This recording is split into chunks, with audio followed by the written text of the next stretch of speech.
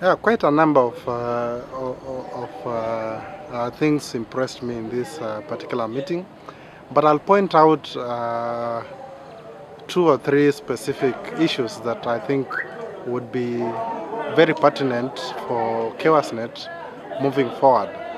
Um, in particular, I will give the discussions on networking.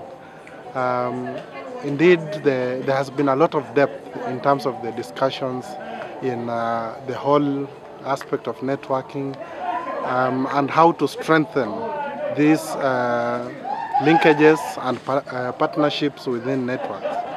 And for on the part of KEWASNet, being one of the youngest networks in this meeting, it would be very important for us to pick up most of these lessons learned and really integrate them in our processes of growth um, and also to create a greater space for our partners to engage.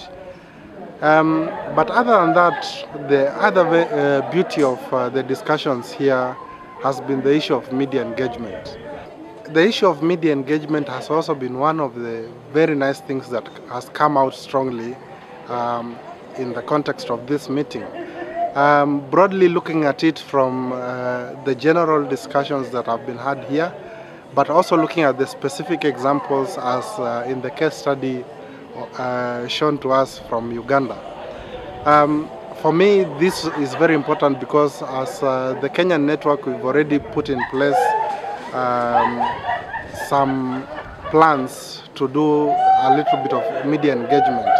And having uh, borrowed from the experiences in Uganda and uh, other members of the net of the GTF, it will be much much easier for us to take the, our plans forward and make ours uh, a bigger success than uh, what we've been able to observe.